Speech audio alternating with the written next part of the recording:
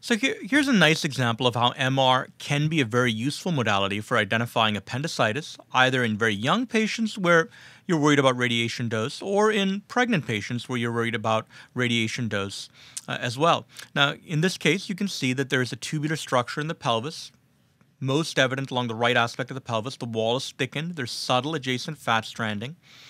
And if you look at the coronal images, you can clearly see that it's tubular and it's extending towards the cecum. That's a classic case of appendicitis. This appendix is about 15 millimeters in diameter. The patient was taken to the OR where appendicitis was confirmed.